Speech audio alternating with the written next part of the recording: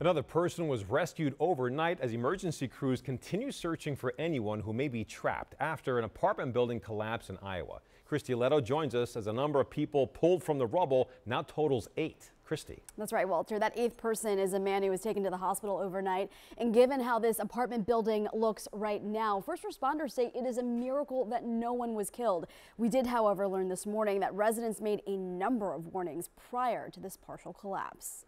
There has been some complaints to the structure. We issued notice and orders to have those repaired. Building just collapsed. Yeah, repairs to avoid this. This is what happened over the weekend. Reportedly, Davenport city officials in Iowa came out to inspect after residents made complaints. The building's owners were then told to make repairs and hire their own engineering firm to do so. Now, meanwhile, flash forward, search and rescue crews have been working around the clock to make sure that no one else is trapped beneath the rubble. Thanks to canine units, an eighth person again was rescued overnight and more than a dozen residents self-evacuated. The fire chief says it does not appear that anyone else is missing.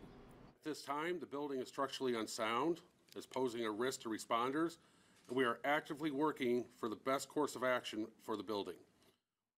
The fire chief says that rescue operations will be coming to an end soon and the recovery phase will then follow. And once the scene is released, an extensive investigation will begin to uncover the cause. Sarah? Wow. Okay. Christie, thank you.